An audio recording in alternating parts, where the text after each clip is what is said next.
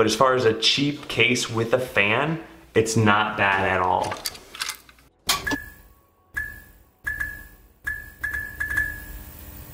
Hello YouTube, today we've got the Eleduino fan case. A lot of people like this case because it's one of the cheaper fans on, it's one of the cheaper cases on the market that does include a fan. So let's go ahead and take a look at this. Inside the box we have instructions.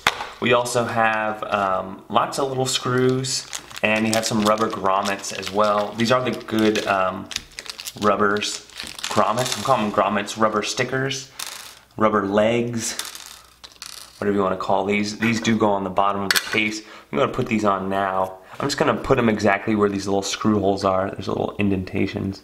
They do a little advertising on the bottom of the case, which is fine because not many people look at the bottom anyways. Okay, so we got the bottom of the case on. What happened? Okay, so it kind of has like a hinging mechanism, but it's two separate pieces. It's made out of very thin aluminum. It's very light, very light case, especially for an aluminum case. Um, this one might block the Wi-Fi signal a little bit, just because it's metal, but it should be okay. We'll see here in a moment. So first off, uh, you can see that the micro SD goes towards the back there, and you have these four little legs in there. You have four little legs inside. So let's go ahead and put our Pi in and secure that down, line up the HDMI and everything else. Kind of slides in. The best way to do it. After it slides in, the um, the 3.5 is the one that sticks out the most, and then you want to get it as flush as possible there. Oh, look, I'm not even following the directions. I put the Pi in first. Okay, fan goes just like that. The bolts go in on the outside.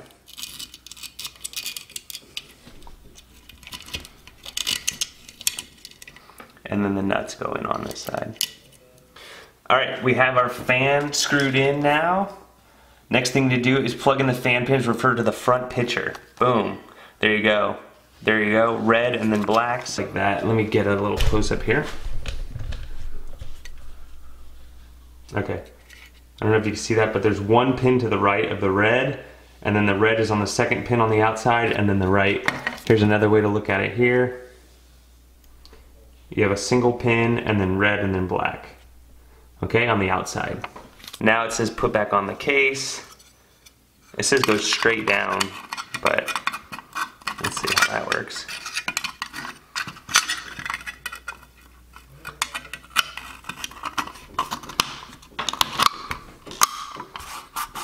Okay, so we got that on, and then the last thing is, oh it says legs last, I did the last thing first, and then you gotta screw this in.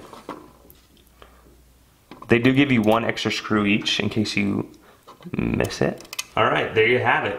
You get your two screws, power, HDMI, AV. You have your fan over here, micro SD slot, easy to get into. Got the bottom. got the side for your GPIOs.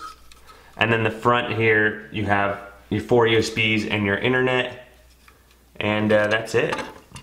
It's got the rubbers on there. It's got this little racing lines on the top. It's a very discreet case. I'll give you that. It's, if you want something discreet, light, affordable, with a fan, this is definitely one of the ones to have. Um, you know, you can go the Flirc case or an aluminum case. Those are even better for cooling. But as far as a cheap case with a fan, it's not bad at all. The last thing I wanted to check is the fan noise. So let's go ahead and plug this in really quick. And this is how loud it is it's by far a quiet fan, quieter than anything else I've heard. So if you want a quiet fan, you you there's no way this would be like a little hiss in the corner. There's no way you would hear this. Like a bubbler in a fish tank is 10 times louder. This is really quiet. Let me just be quiet really quick.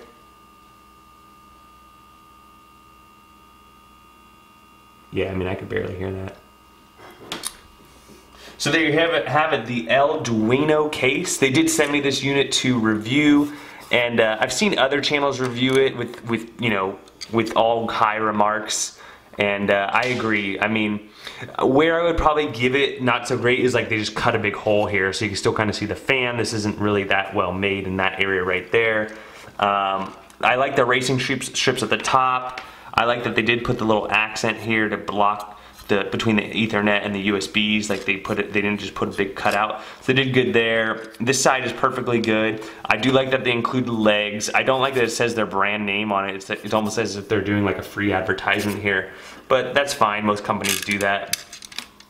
Um, and I like that, I do like that it's very compact. Like this is, I mean, when you think about how tall the Pi is, there's only about what, like one eighth of an inch additional there. And then as far as the length of the Pi, there might be like what, one inch, maybe less, um, which is great for airflow. So from using, utilizing as little space as possible, this is definitely a good case for that. Let me know what you guys think. Don't forget to like this video, subscribe to the channel if you haven't already. There'll be links to get these cases in the description and we'll catch you guys on the next one.